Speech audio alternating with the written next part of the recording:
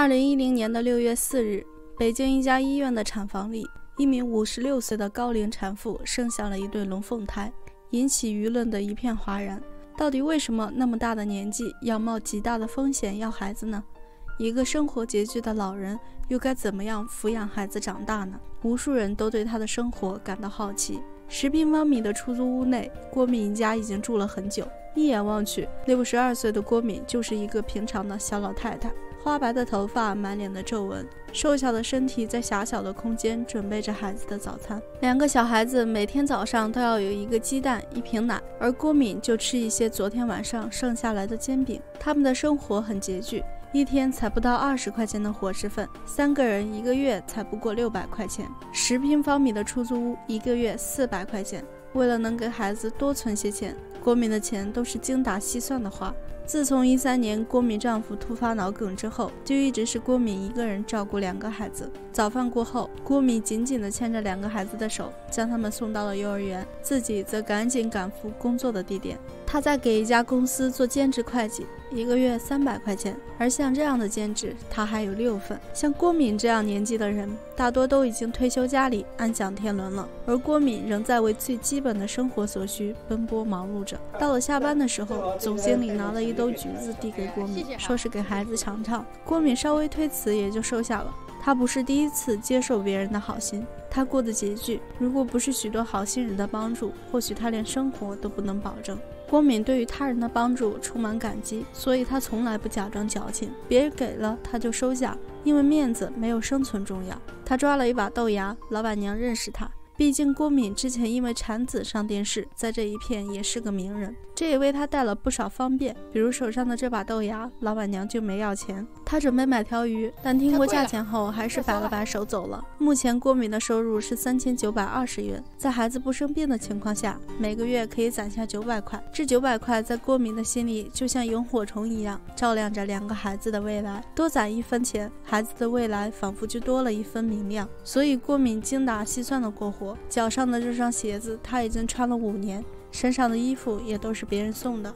邻居抱着小孩和他打招呼。每次听到小孩子叫自己姥姥，郭敏的心里都不是滋味儿。如果不是当年的意外，她或许真的就是别人口中的姥姥了。郭敏摸着大女儿的照片，心中难受。照片上漂亮可爱的女孩子，在零五年因为车祸死亡。郭敏说：“如果大女儿没死，现在肯定成家立业，有了自己的孩子。”每每想到这里，郭敏都感觉天都要塌了。她将照片藏到最角落。那是他的禁忌，不去触碰就不会伤心。大女儿的离世让郭敏的心留下了一个巨大的空洞。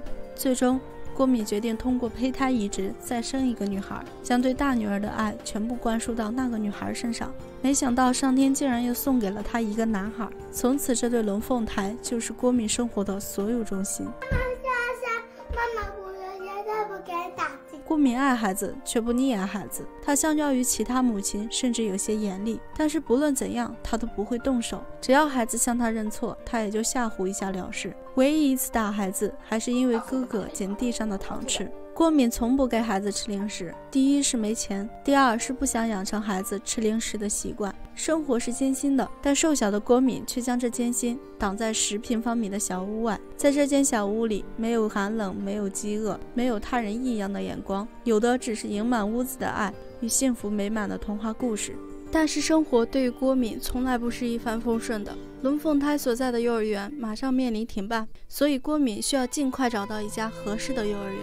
所谓合适，无非就是价钱合适、距离合适。如果是全托就更好了。郭敏拿着纸条子，上面全都是好心人听说了郭敏的事情后帮他整理出来的幼儿园的信息。郭敏对比了半天，没有一家能选择的。原来的幼儿园一人只需要四百块，可这些幼儿园起码三千往上走，郭敏的经济根本负担不起，除非他将中华社会救助。基金会里的十万元取出来，那是社会上的好心人在听说他的事迹后帮他筹的善款。郭敏实在不想动那份钱，因为他除了要考虑孩子上幼儿园的费用，还需要考虑他们上小学、上中学，甚至是上大学的钱。他心里清楚，只有给两个孩子留下更多的钱，他们在未来才能更好的生存下去。在好心人的帮助下，郭敏终于找到了一家合适的幼儿园。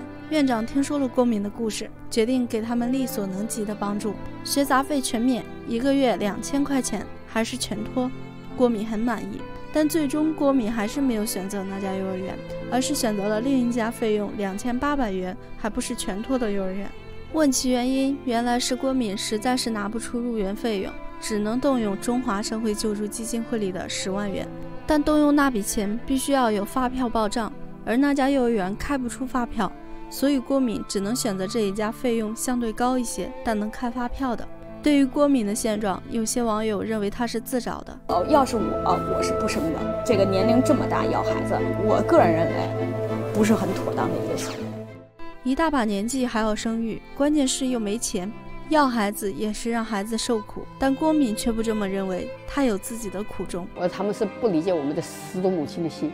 他问问那失独家庭，问问那个失独母亲，就知道那失去孩子的痛苦，失去孩子的那个心情是怎么样的。当时天都塌下来了，简直是不想活了。很多人好奇为什么孩子的爸爸从不在镜头中出现。郭敏提到这里就有些生气。我跟他说这个幼儿园费用，两个孩子有五百四，一千零八十报不了。他一听是因为我问的要钱，因为他平常没法给我钱，而且一听这这一个孩子一个报不了，他一着急就说我们没办法养活两孩子，你看这送人还怎么着？你自己看着办吧。郭敏从来没有强迫丈夫为养孩子出一份力气，这些年无论多苦多难，都是她自己坚持。就像几十年前毅然决然地辞掉工作来北京漂泊追逐梦想的时候，她一米五的身体里蕴藏着常人没有的勇敢和坚毅。她的精神也感染了无数人，很多像她一样的失独母亲都在她的故事里受到了鼓舞。这位梁女士就是特意赶来见她的。她五十岁，几年前独子不幸夭折，她一度陷入悲痛之中。听说了郭敏的故事后，千方百计地赶来这里，一是表达敬佩之情，二是来询问关于胚胎移植的事。而对于同自己有相同经历的人，郭敏也丝毫不吝啬，分享自己所有的经验，以一种过来人的姿态给出建议。像一盏明灯一样，给全国的失独家庭带来光明和希望。郭敏送梁女士离开，看着他们的背影，她想起了五年前的自己，想起了自己的大女儿。时光荏苒，记忆如冬雪遇春般淡化，心里的悲痛却随着时间越来越刻骨铭心。据不完全统计，一五年我国的失独家庭在一千万以上，而最痛苦的莫过于父母已经丧失生育能力，而独生子女死亡前又没有留下孩子的。像这样的家庭，在我国超过一百万组，他们不仅承受着精神上的巨大痛苦，养老也成了问题。虽然民政部表示，失独老人将按照三无老人的标准由政府供养，但巨大的精神空虚感却是再也无法满足的。虽然可以进行胚胎移植再生一个，但两方年龄的差距过大。对于父母来说，失去子女无疑是一件万分悲痛的事情。但如果孩子尚未成年时失去父母，又何尝不是一种痛苦？所以其中利弊需要仔细的衡量。